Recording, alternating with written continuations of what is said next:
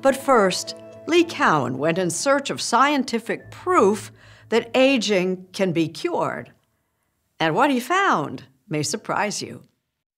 Liftoff. We have a liftoff. When we first sent men to the moon back in 1969, our life expectancy was about 70. Today, we're still going to space, but can expect to live only about eight years longer. But what if, like space itself, age could be almost limitless? Aging can be delayed, aging can be stopped, aging can be reversed in several ways. We're learning how to turn back the clock by not just a couple of years, but even by a decade potentially. Maybe a seven year old of the future will look more like a 40 year old or 50 year old of today. Those are three of the leading scientists on aging who all agree that either slowing our clock, or perhaps even resetting it, is no longer science fiction. Aging should be treated, it should be considered a medical condition, and doctors should pay attention to it. Harvard biologist David Sinclair made a big splash two years ago with a book claiming that aging is optional. So, how old are you now? I'm 52. He wants to make it at least to 100, but he'd love to surpass the record set by Jeanne Calment. She lived to be 122. So, there's no biological limit to our lifespan. Some people say, oh, we already have maxed out our natural lifespan. I don't believe that at all. We joined him for dinner, his first meal of the day. Fasting, he believes, helps build up the body's defenses against aging. But he also believes that our cells carry the instructions on just how to be young again. And he thinks he's found them. His study, published in the journal Nature last year, detailed how he made blind mice see again by reversing the age of their eyes. And he thinks he can do the same with brain cells. Oh my gosh. And what does that, as a practical matter, mean? It means that we probably have figured out why we age. Let's say you get Alzheimer's disease, there will be a way, I believe, to reverse the age of the brain and then Alzheimer's disease will go away. And one uppercut. Good. Lynn Charney seems to be fighting old age naturally. She's 96 and as fit as ever. And four. Beautiful. I love doing it.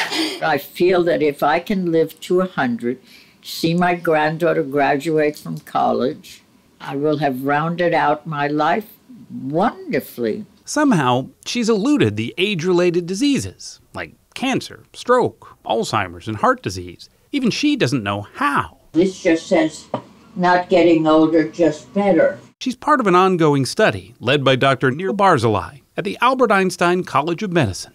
He believes instead of treating diseases one by one as they come, we should treat their root cause first aging itself. We cannot just spend the money in treating diseases when we can target the biology of aging and stop all those diseases. There's evidence to suggest a drug already on the market, metformin, used for diabetes, might actually be an anti aging drug in disguise. It prevents cardiovascular disease, it prevents Alzheimer, uh, it prevents cancers. That said, though, you don't want people to rush out and try to start taking metformin after they hear this. I, I don't. That's because he's about to start a clinical trial to see if metformin safely does what he hopes it does. Aging can be delayed, health span can be improved, and longevity is the side effect of that.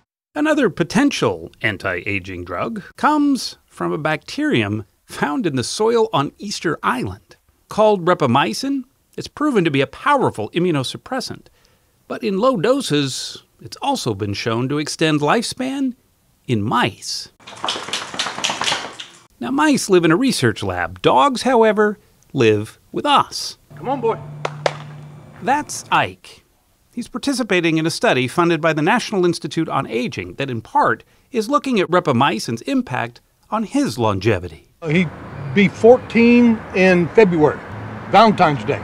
His owners hope for him what we all want for us more time with each other.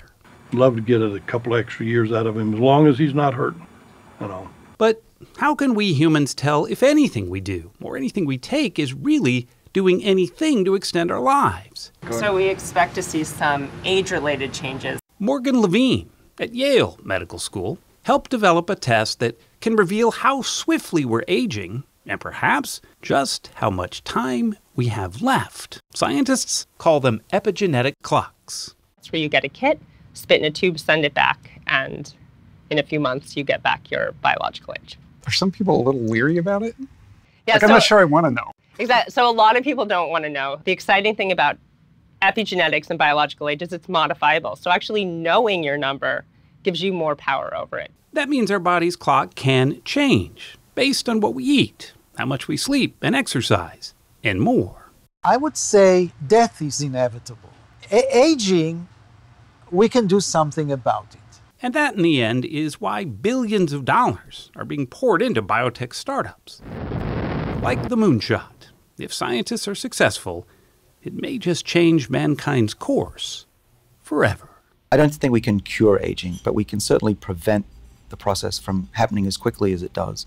And we don't have to, to get sick and die in our 80s. That I'm certain of.